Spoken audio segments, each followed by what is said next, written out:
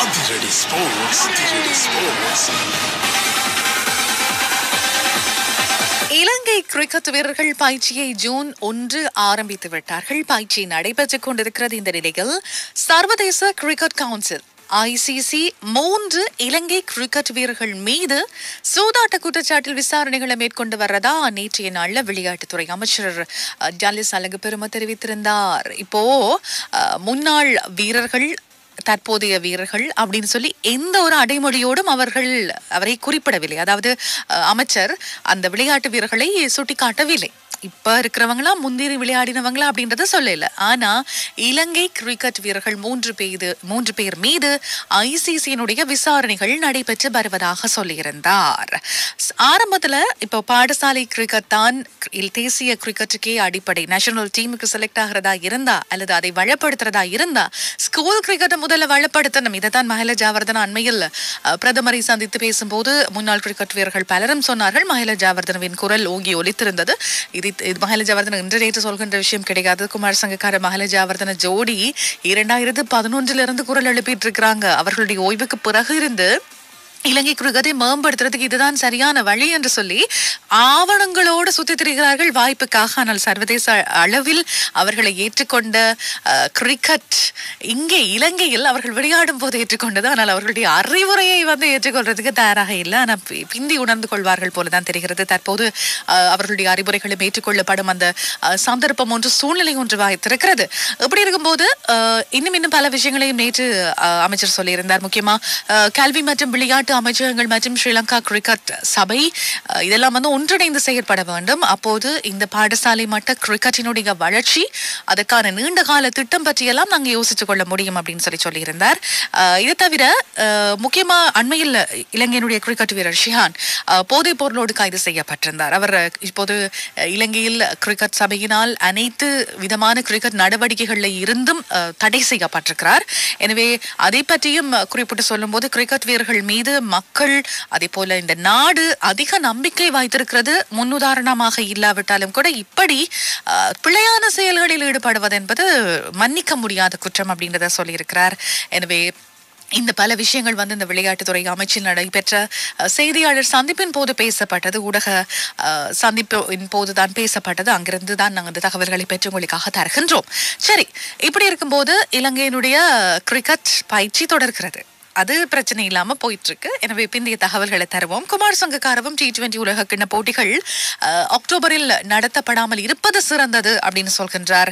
எனவே ஆஸ்திரே October பதினெட்டிலிருந்து November பதினைந்து வரை ஏழாவது டி டுவெண்டி உலக கிண்ண போட்டிகளை ஆஸ்திரேலியாவில் நடத்த திட்டமிட்டிருந்தார்கள். ஒத்திவைக்கப்படுவதே சிறந்தது என்று சொல்லித்தான். இலங்கை அணியின் முன்னாள் அணித்தலைவர் அதேபோல நட்சத்திர கிரிக்கெட் வீரர் தற்போதைய எம்சிசி கழகத்தினுடைய தலைவர் என்று சொல்லி பெருமை மிகுந்த இலங்கையினுடைய ஒரு அடையாளம் குமார் சங்கக்காரவினுடைய வேண்டுகோளும் இப்போது முன்வைக்கப்பட்டிருக்கிறது. ஜூன் பத்தாம் தேதி ஐசிசியினுடைய ஒரு கூட்டம் இருக்கு. அந்த கூட்டத்தில் பேசப்பட போகின்ற முக்கிய தலைப்பே இந்த டி டுவெண்டி உலக கிண்ணம் பிற்போடப்படுவது தொடர்பாக அமைகிறது. இதற்காகத்தான் இப்போது குமார் சங்கக்கார தன்னுடைய நிலைப்பாட்டை வெளிப்படுத்தி இருந்தார் கொரோனாவை சுற்றியுள்ள பல கேள்விகளுக்கு இன்னும் விடை கிடைக்காம இருக்கு. ஒவ்வொரு நாளும் கொரோனா வைரஸ் தொடர்பில் புதிய கண்டுபிடிப்புகள் புதிய தகவல்கள் வெளியாகிக் கொண்டிருக்கின்றன. எனவே முதல்ல அந்த வைரஸினுடைய உண்மையான நிலைமையை நாங்கள் கண்டறியணும். இந்த வருஷம் இந்த டி டுவெண்டி உலகக்கிட தொடரை ரத்து செய்வதை தவிர வேற வழி இல்லைன்னு தான் தெரியுது. இந்த தொடரை மற்றும் ஒரு வருடத்துக்கு ஒத்தி வைக்கிறதுக்கான வாய்ப்புகள் அதிகமாக தென்படுகிறது என்றும் கூறுகின்றார். அதே போல வீரர்கள் ரசிகர்களின் உடல் நலன் பாதுகாப்பு சம்பந்தமாக அதிக கவனம் செலுத்தினால் சிறந்தது. இதைத்தான் குமார் சங்கக்கார வலியுறுத்துகின்றார். எனவே தற்போதைய சூழலில் ஆரோக்கியம் பாதுகாப்பு இரண்டுமே பொதுவான நிலைப்பாடாக இருக்கிறது. ரசிகர்களுக்கும் வீரர்களுக்கும் அகப்போடிகளை தள்ளி வைப்பது ஒத்தி வைப்பது பொருத்தமாக இருக்கும் அப்படின்னு சொல்லி சொல்லி இருக்கிறார் இந்த நேரம் இன்னொரு கேள்வி அவரிடம் பிரபல தொலைக்காட்சி இந்த விளையாட்டு நிகழ்ச்சிகளை வழங்குகின்ற தொலைக்காட்சியில் கேட்கப்பட்டது. அதுக்கு பதில் சொல்லும் போது அதாவது இந்த ஐசிசியினுடைய புதிய கோவிட் நைன்டீன் தொற்று தொடர்பான விதிமுறை மாற்றங்கள் கொண்டு வரப்பட்டிருக்கிறது தானே. எனவே அதை பற்றி குமார் சங்கக்காரவிடம் வினவிய போது அவர் சொல்லியிருக்கின்றார் இந்த ஐசிசி வழங்கியிருக்கிற வழிகாட்டல்கள் வீரர்களையும் போட்டியையும் கட்டுப்படுத்த போகிறது. நிச்சயமாக அது புரிகிறது. வீரர்களுக்கு வித்தியாசமாக இருக்கலாம். சில நேரம் ஐயோ இப்படி ஒரு கிரிக்கெட்டை விளையாடணுமா? அப்படின்னு கூட தோணலாம். ஆனா பாதுகாப்பு உடல் நலன் எல்லாத்துக்கும் முன்னுரிமை வழங்கும் போது இந்த சூழ்நிலையில் எப்படி விளையாடுவதுதான் நிச்சயமாக பொருத்தமாக இருக்கும். ஒரு கட்டத்தில் வீரர்களுக்கு ரசிகர்கள் மத்தியில் விளையாடுவதற்கான வாய்ப்பு கிடைக்கும். அதாவது ரசிகர்களுக்கு போட்டிகளை பார்ப்பதற்கான வாய்ப்பு ஒரு கட்டத்தில் வழங்கப்படும் நிச்சயமாக. எனவே இவை அனைத்தும் நிச்சயமாக எல்லா பிரச்சனைக்கும் காலம் பதில் சொல்லும்னு சொல்லுவாங்களே அந்த தங்குமார் சங்கக்காரவும் சொல்லியிருக்கிறார். காலம் தான் அஹ், இவை அனைத்தையும் ஒ- அதாவது ஒன்று சேர்க்க வேண்டும் அப்படின்னு சொல்லி சொல்லியிருக்கிறார். அந்த தொலைக்காட்சியில் ஒரு செவ்வி ஒரு நேர்காணல் ஒன்றின் போது அஹ், கேட்கப்பட்ட கேள்விகளுக்கு பதிலளிக்கும் போது சரி ஜூன் பத்து மீட்டிங்கில் என்ன நடக்குது? பார்க்கலாம். பொறுத்திருந்து இதே நேரத்தில் பார்த்தீங்கன்னு சொல்லி சொன்னால் இந்த ஜூலை மாதத்தில் இங்கிலாந்துக்கு போய் மேற்கிந்திய தீவுகள் தொடரில் டெஸ்ட் தொடர் ஒன்று விளையாட போகுதுன்னு சொல்லியிருந்தோம் அப்போ மேற்கிந்திய தீவு வீரர்கள் தயாராகிட்டாங்க. இங்கிலாந்துக்கு போய் விளையாடுறதுக்கு. இந்த ஜூனில் போனால் தான் ஜூலையில் போட்டியில் விளையாடலாம். அப்போ போட்டிக்கு தயாராகி கொண்டு இருந்த நேரத்தில் மேற்கிந்திய தீவுகளினுடைய மூன்று வீரர்கள் வெஸ்ட் இண்டீஸ் பிளேயர்ஸ் மூன்று பேர் இங்கிலாந்துக்கு போகிறதுக்கு மறுப்பு தெரிவிச்சிருக்கிறாங்க. கொரோனா வைரஸ் தொற்று காரணமாக அதுலேயும் இங்கிலாந்தில் தொற்றாளர்கள் தொற்றுறுதியானவர்கள் என்று சொல்லி ஒவ்வொரு நாளும் கேள்விப்படுகின்ற செய்திகளும் மரணங்கள் பற்றிய செய்திகளும் அதிகமாக இருக்கிறது. இதனால் கொஞ்சம் பயந்துட்டாங்க.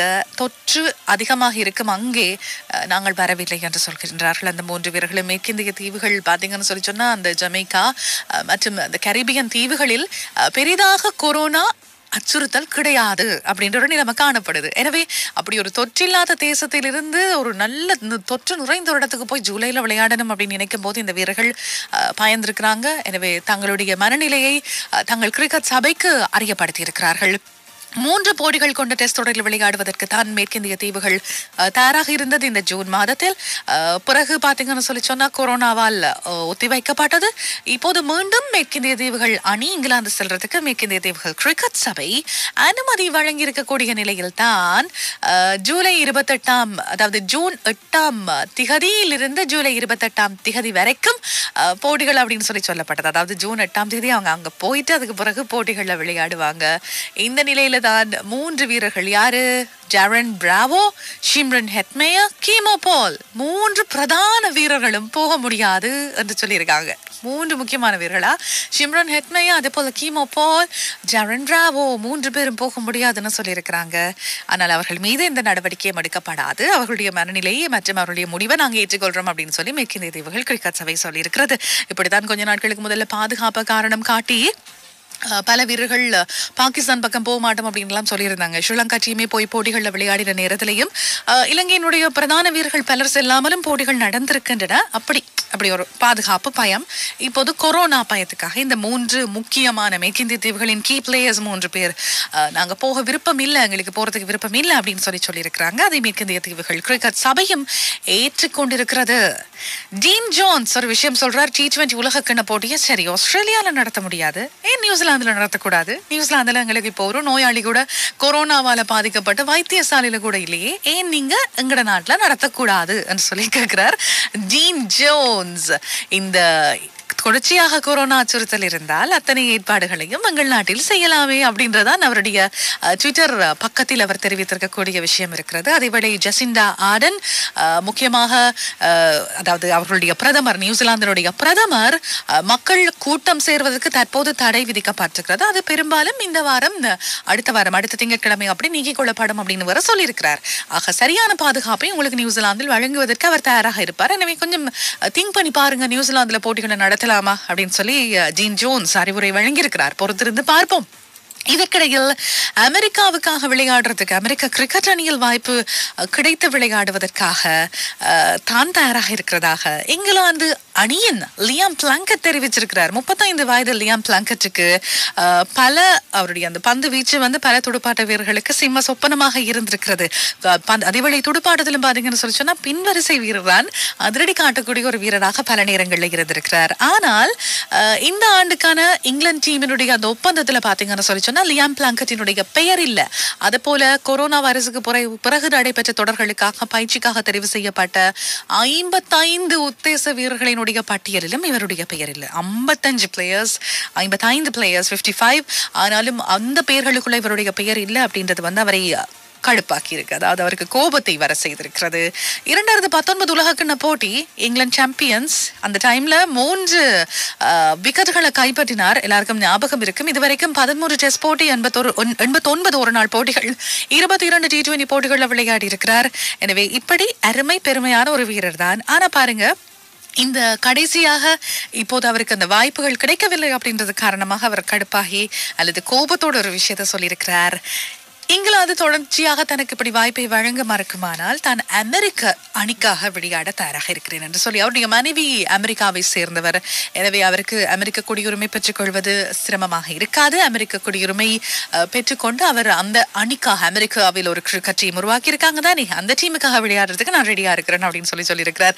சரியான பூரண உடற்தகுதியோடு இருக்கிறேன். ஆனால் எனக்கு வாய்ப்பு கிடைக்காம இருக்குது அப்படின்னு நினைக்கும் போது நானே இந்த அமெரிக்க அணியை தெரிவு செய்யக்கூடாது. இதுதான் அவர் வந்து இங்கிலாந்தினுடைய பிரபலமான அஹ், வானொலி சேவைக்கு வழங்கிய செய்தியின் போது அல்லது நேர்காணலின் போது சொன்ன விஷயம் இங்கிலாந்து கிரிக்கெட் சபை இதை கொஞ்சம் கவனத்தில் எடுத்துக் கொள்ளுவாங்க அப்படின்னு பார்க்குறோம். அல்லது என்ன காரணத்துக்காக அந்த ஐம்பத்தைந்து பேருக்குள்ளும் அவர் தெரிவு செய்யப்படவில்லை அப்படின்ற விளக்கத்தை அவருக்கு வழங்கினாலும் சிறப்பாக இருக்கும். பொறுத்திருந்து பார்ப்போம். இவை ஒன்றிய நாளுக்குரிய முக்கியமான விளையாட்டு செய்திகள். பிந்தி வரும் செய்திகள் உங்களுக்காக எங்களுடைய நிகழ்ச்சிகளில் வரும். கேட்டுட்டே இருங்க. இது விஸ்வரூபம்.